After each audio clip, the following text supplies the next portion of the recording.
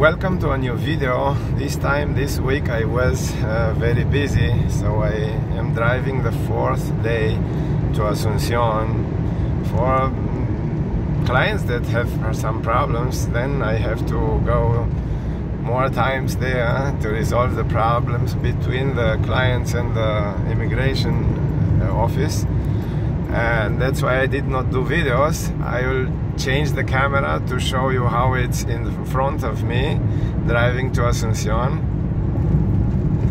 So here you see the way and um, yeah I am I was thinking to make a video on the steering wheel uh, because I am very busy this week. Not every week is so but uh, I mean it's the first time, the first week that I have to go four days in the same week to Asuncion. Here you see a place where people sell like watermelons and other things and uh, yeah this is how is the road I made other videos with the roads in Paraguay but not on this uh, part where it's um, between my home and Asuncion.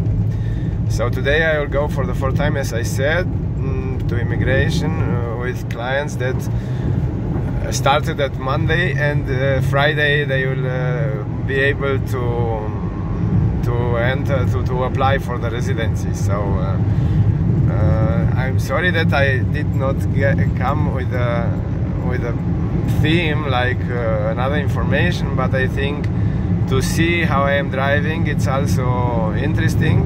So I had some comments from people that said that they like to see it too.